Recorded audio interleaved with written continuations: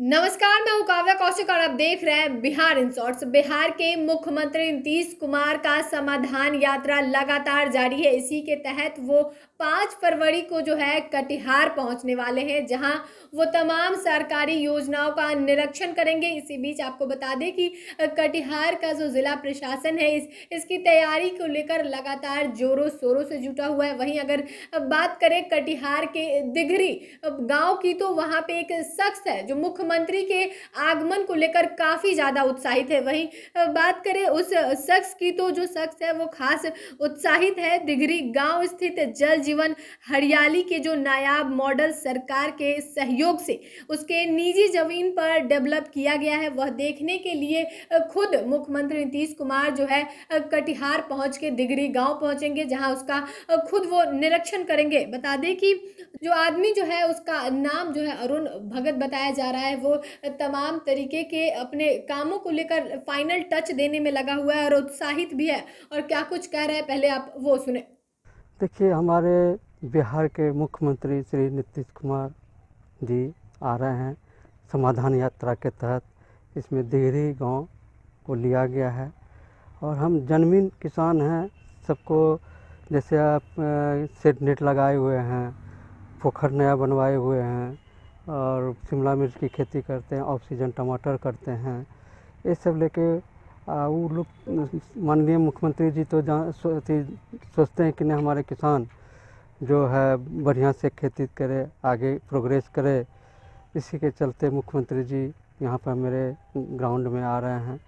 हमको तो ऐसा लग रहा है कि क्या बोलें, उसके बारे में तो कुछ नहीं बोल सकते हैं।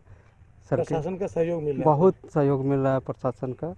आगे किस तरह से विकसित करना चाह रहे हैं इस इलाके मैं इस तरह से यहाँ एक तरह से विकसित एक करना चाह रहा हूँ यदि मुख्यमंत्री हम पर ध्यान दे तो इस इलाके का हम कायाकल्प बदल देंगे। इसमें हम एक बढ़िया पार्क बनाएँगे और यहाँ पर बढ़िया ऐसा क्या कहते हैं उसको मतलब पार्क में, रूप में डेवलप करेंगे चारों तरफ़। लेकिन मुख्यमंत्री जी, यदि हमको सहयोग किए तो हम बहुत जल्दी इसको बना देंगे। आपने अरुण भगत, जो कि किसान है, उनको सुना, जिनका कहना है कि मुख्यमंत्री के इस यात्रा को लेकर वो काफ़ी उत्साहित है और साफ़ तौर पे कहना है कि उन्होंने जो तालाब बनाकर मछली पालन का जो काम किया है, उसमें उन्हें बिहार सरकार के तरफ़ से मदद मिलेगा तो और वो आगे अपने काम को बढ़ाएँगे। वहीं इस विषय में जब स्थानीय लोगों से बात की गई, ग्रामीण से बात की गई तो वो क्या कुछ कह रहे हैं, पहले आप वो भी सुने। पूरे ही कोड़ा प्रखंड में खुशी की लहर है। और इस खुशी को देखते हुए सबका दिल, आत्मा लग रहा है कि खुशी से भर गया है।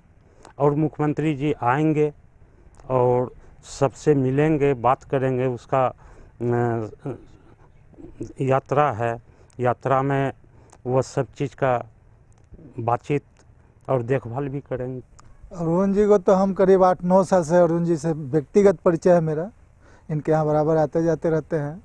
इधर कुछ दो तीन सालों से इनका खेती में रुझान काफ़ी बढ़ गया है और बराबर इनको हम देखते रहते हैं और प्रोत्साहित भी करते हैं और ये खुश भी रहते हैं और बहुत लगन से मछली पालन का भी अभी देखे हैं कि अब शुरू किए हैं और बाकी सेड नेट के द्वारा काफ़ी अपना फ़सल उपजाऊ कर रहे हैं और इनके वजह से दिघरी में मुख्यमंत्री का आगमन हो रहा है। दिघरी गाँव का कायाकल्प हो रहा है। हमें भी बहुत खुशी हुआ, हम अभी इधर से गुजर रहे थे तो देखे तो हम भी आ गए अरुण जी से व्यक्तिगत मिलने कि आपकी वजह से दिघरी गाँव का कायाकल्प हो गया।